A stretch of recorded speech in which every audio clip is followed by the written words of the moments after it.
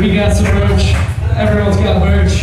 How about any band that you can. Let's keep this shit going. This next one's called merch.